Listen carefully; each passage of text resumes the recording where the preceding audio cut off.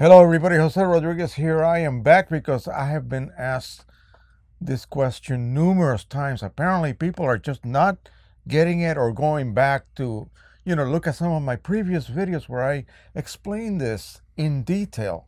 But first, I want to thank you guys for the great comments that I've been getting on the last several videos.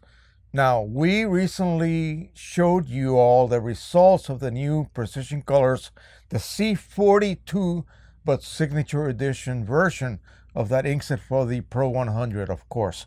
And again, I was impressed by it, and apparently so have you. And I'm getting some really nice comments, and one of which was a person just recently showed prints done by OEM inks and the PC 42 SE inkset. Showed it to about 10 person, and 8 out of the 10 chose the Precision Colors print and that included two professional photographers. So that speaks for itself. Now, what do you have to do? What do you have to do to start enjoying this inkset? Well, there are you know many ways to approach this, and some of them are not as good as others. Now, consider this before you even ask. It is not cheap to get into color printing at home, especially when you're going to switch over from OEM to a third party choice and you're doing this simply because you want to save money, well, it's going to cost you from the get go some money to be able to switch over, especially to something as good as these inks that we are now enjoying. It's not as easy as simply taking your single set of cartridges that you have in your Pro 100, the ones that the printer came equipped with, and thinking that you're going to flush these and then you know refill them with your uh, brand new precision color signature edition ink set.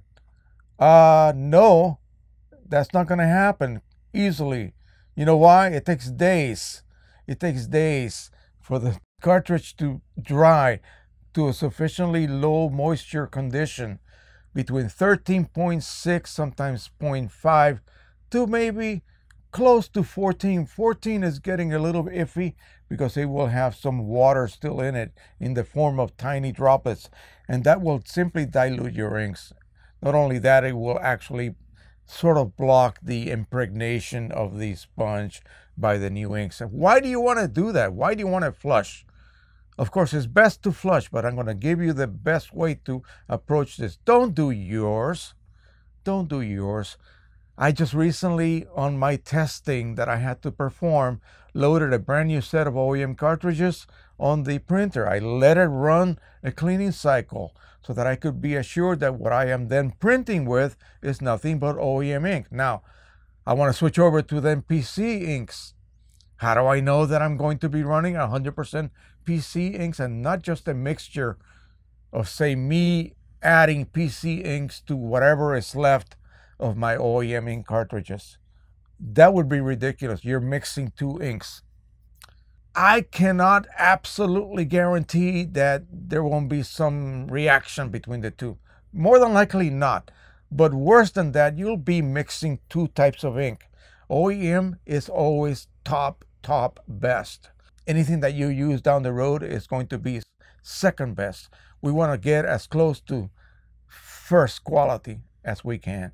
So that's why we're using these things. But I still do not recommend that you mix partially used CLI 42 cartridges and then top them off with these new inks.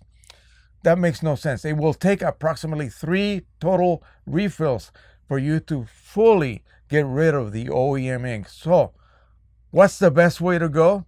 Well, I have now a link on my description. What? You don't read my descriptions? If you don't, really. I, I think I'm going to cry. I take some time to write these out.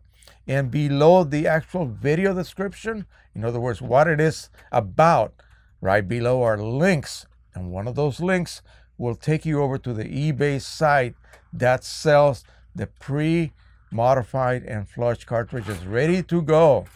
What, another $60? Well, yeah, that's what you have to pay in order to get into this refilling business and start correct from the beginning. The best way is to start with a virgin, empty, flush cartridge. Fill it with the new inksets that you want to use. I don't care if they're not PC either. But if you want to be able to then enjoy whatever quality that inkset provides you, you have to start with a brand new flush set of cartridges. Otherwise, you will never really know because you will have a mixture. And then with every refill, you will change even more bit by bit until finally at some point, maybe three to four refills later, and I mean complete refills later, then you can actually claim that what you're seeing is the result of that particular inkset. You get what I mean? So it's best to start with an empty, flushed, and dried properly set of cartridges. You load them with the new inks, and now you can claim absolutely 100% you are using PC inks, Ink Owl inks, Ink Republic, inkjetcards.us. We all know which ones are the best because you've seen my videos already on that. So take that to the bank. You need to spend not only the money on the inks, the resetter, but please, please consider starting with a brand new set of cartridges that have been flushed and dried properly and of course modified ready to go with the good clips and the good plugs. That is what i would highly recommend that you guys do. And believe me i'm not getting a penny worth of benefit from linking you to that person's ebay store. This is just my opinion. Now if you have a second set of empties then sure, go ahead and while you're using your OEM cartridges, because remember it's going to take you two to three days to do this, go ahead and practice flushing. Practice modifying and flushing your cartridges and then air drying them. Again, depending on what you do to air dry them, it will either take one single day if you use a desiccator or a food dehydrator and place them in there. And uh, in about a day, they'll be ready to be refilled. But if you're just leaving them on a table with maybe a fan blowing, it might be a number of days, three to four days before they reach the proper weight or the proper dryness for you to be able to refill them. So again, the best way, I keep saying that over and over, is to buy a set of already ready to be used cartridges. Okay? Believe that. Let me remind you guys what these things are capable of doing. This is PC Signature Edition inks. Have a look at that betta fish. That thing looks better than it did when it was shot. Have a look at that. Look at the colors. Look at the intensity. And again, you might say, well, any inkset can produce bright colors. Well, yes and no. Take a look at these colors right here. These are a lot more subdued and more delicate, not like these here, but it can handle all aspects of the color distribution of your particular images quite well. And of course, I showed you the shocking discovery that I made that this ink also performs great on matte paper. Boy, I almost fell over in a faint when I saw these results come out.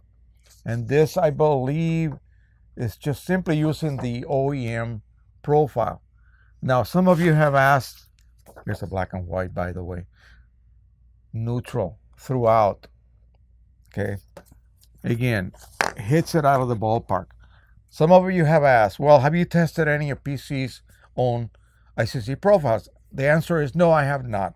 At this point, I've only tested my own profile that I made and I uploaded that to my Facebook group. Speaking of the Facebook group, some people just don't do Facebook. So the only way that I can provide right here, I keep losing where I put it, this image for you to test anything on any printer is to download it from the Facebook group or drop me a line and I will link you to my Dropbox you better be able to do one or the other because this is a 50 megabyte file and I cannot possibly email it to you. There is an original site, but it doesn't belong to me, so I will not lead you to that site. I'm going to lead you to mine, of course. And when you join the Facebook group, you will not only have access to that image, but many others, as well as custom profiles that I have created and I'm giving away for free. Currently, I have the profile that I created for that particular matte paper from Canon. and uh, it's there for free. It works gorgeously as long as you have the PC42 SE ink set and you have started with a clean set of cartridges. You're not going to get the results you might be expecting if you have a partially mixed set. In other words, maybe your cartridges were about a third, you know, full from empty and you went ahead and topped them off. No, no, no, no, not good. You need to start from fresh. You could always take those partially used cartridges, store them, put the clips on them, store them because on a rainy day you might need to use those. Okay? So they're not going to waste. Just put them away just as I did. I got them, where did I have? Right there on the floor with the rest of the bottles. I have the complete OEM set that I removed once I got done with my testing. And also, I went ahead and posted a OEM printed and also PC42 SE printed on ProLuster standard image, the ones that I showed you in the video. That's why I couldn't find them here. They're up on my wall right now. They're going to sit there for one year. And this morning I realized that, oh, there's a lot of sunlight hitting these. So they're up on the wall. We're going to see in a year what the difference is. And hopefully I will be able to print a brand new example of it with the PC inks and then compare it. The OEM one should not fade one iota, I hope. If it does, that would be kind of hilarious, wouldn't it? Because, you know, the claims that they make. But again, I'm displaying the prints on my wall next to the east facing window. Not really optimal. That's not what they recommend, even for OEM. So we will just see. Highly unscientific testing, but actually real world testing. One year. And then I'll go ahead and check them. If there's a difference, so be it. You can always reprint that image. Okay. Again, these are not for you to be selling to anyone. If you want to sell prints to anyone, OEM is what you should uh, honestly use, unless you absolutely tell your customer that you're using a third party ink, and then you have to charge them accordingly, a lot less than you would for OEM. All right, that is it. Thank you so much for watching. Don't forget to subscribe, share, and like. And as always, happy printing, everybody. Bye bye.